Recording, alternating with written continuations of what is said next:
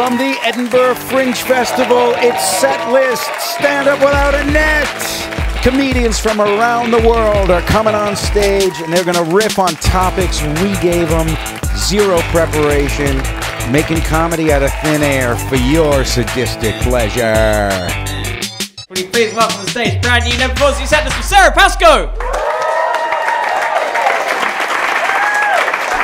Thank you very much. Hello, thank you very much. Thank you very much.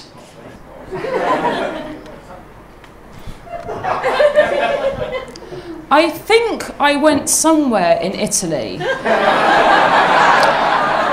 I definitely got off the plane, and when I came back, I smelt of pizza. But I can't tell you anything that happened. I mean, I had some souvenirs, and I tried to put them together to see where I might have been. Some incense, um, a large stash of hardcore pornography, and a hat. That could have been anywhere in Italy.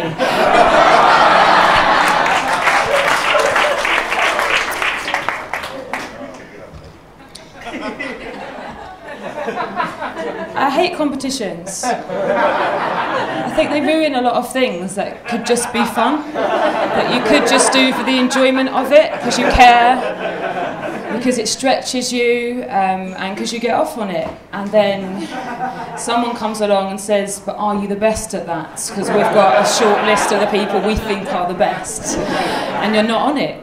And then you think, Well, I'm sure I'm good at something else. I'll go and see a soothsayer in, in, in Romford.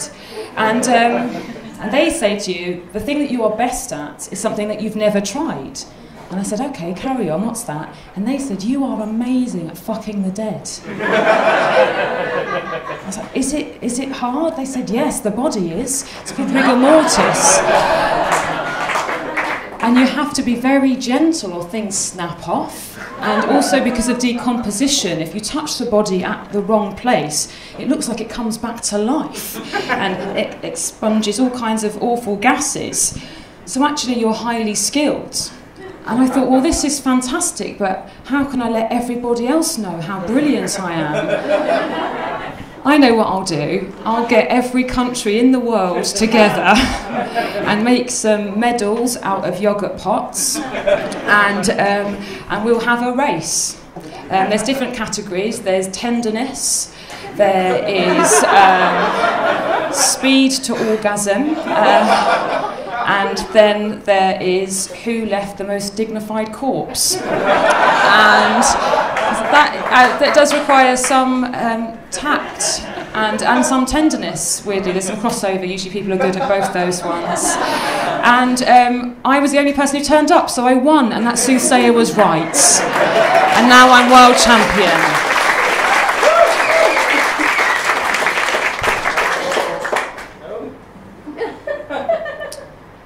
Right. Call it what you like, but it's disappointing. and it doesn't help that you emphasised it. That's it. That's it. I'm not talking about it anymore. It's, it's too upsetting.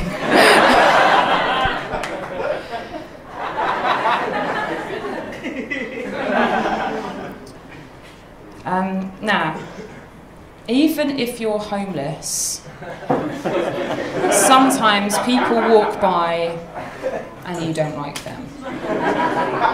And why should, just because your home is the exterior parts of the world, should you not enjoy the privileges that we all enjoy, like cellars, lofts, gardens, and trapdoors for enemies? If you give just four pounds a month, I will build a small trapdoor next to every homeless person that sleeps in the same place for more than three days. That's my guarantee. The downside of this is evil homeless people. because they will just be using it with everyone who doesn't buy the Big Issue. Oh, didn't look me in the eye. Oh, think I'm a bin bag.